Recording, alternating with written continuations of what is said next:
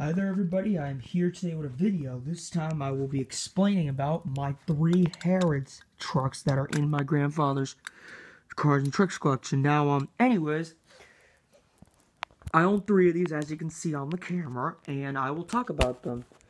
So, the first one here is a Harrods, um, Harrods road truck. Um, of course, this truck is missing its front wheels. It only has its back wheels. So you have so in order for you to move it, um, you'd have to move it like that. And um, of course, all three of these are old, and they were made in London, of course, including this one. But that one doesn't have a steering wheel. These two do.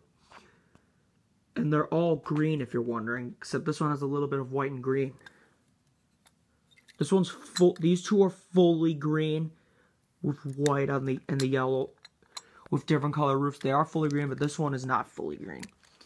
This next one here, anyways, is a Harrods Knightsbridge truck, which um, I did a comparing video on this along with a Carlsberg truck, and then that um, that Brompton, that Harrods road truck, I did a comparing video on as well. I compared it with a T truck. So yeah, these two have comparing videos.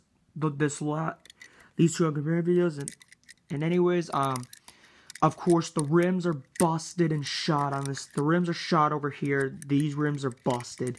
So, it does move still, but it's kind of bouncy. It's a little, it kind of shakes a little when you move it. Just because the, the rims are busted. But, um, anyways, it is green, of course, too.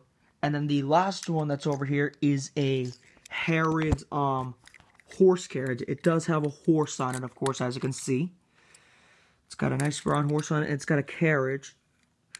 The only thing missing is the um these black um these black treads. Um this is the only Harrods truck that has it because the other two are missing it. This is so this is the only one that has it.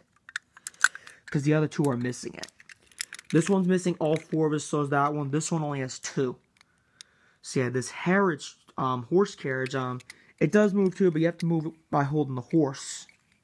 Because there is a horse pulling the carriage. So yeah, it looks good actually. And of course, all three of these are old. And this one, I have not done a comparing video on yet, but I will do it. I will do a comparing video on this eventually when the time comes. Because I did a comparing video on those two, but not this one. So anyways, that's a history on all three of these um Harrods trucks. They were made in London, of course, England.